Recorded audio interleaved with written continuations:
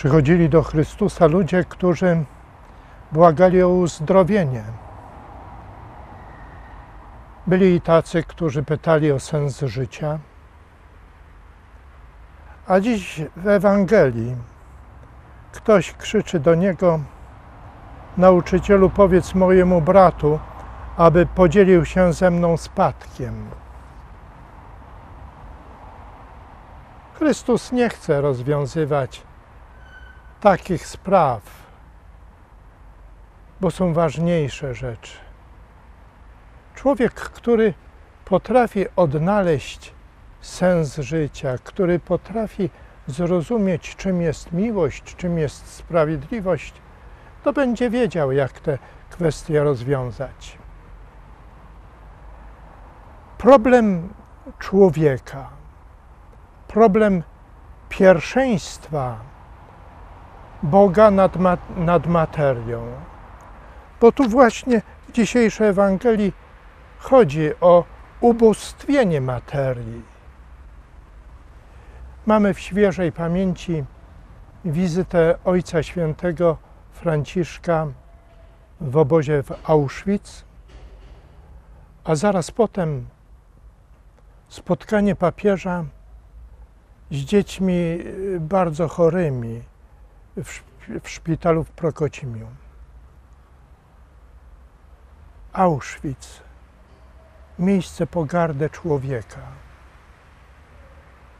Człowiek zabija drugiego. I szpital z tymi biednymi, schorowanymi dziećmi.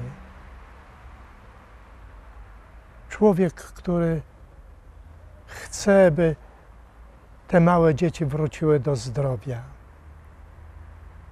Cały zespół fantastycznych ludzi, którzy troszczą się o człowieka.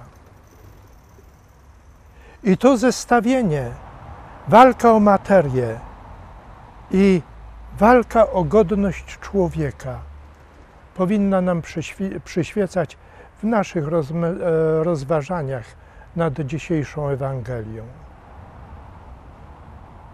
Bo jeżeli pierwsze miejsce w moim życiu zajmie bogactwo, to czy wtedy nie staje się prawdziwym biedakiem? A jeżeli zrozumiem, kim jest człowiek, w czym wyraża się godność ludzka, to wtedy tej wielkiej ciszy, która towarzyszyła papieżowi Franciszkowi w Auschwitz, będę starał się odnaleźć sens mojego życia, czy też w spotkaniu z tymi biednymi dziećmi, które walczą o zdrowie.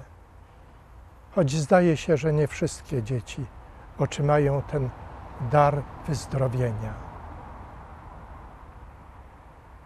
Kiedy więc przyjdzie pokusa, by na pierwszym miejscu postawić majątek, by o te doczesne skarby walczyć z całych sił, to warto przywołać jedno słowo z dzisiejszej Ewangelii.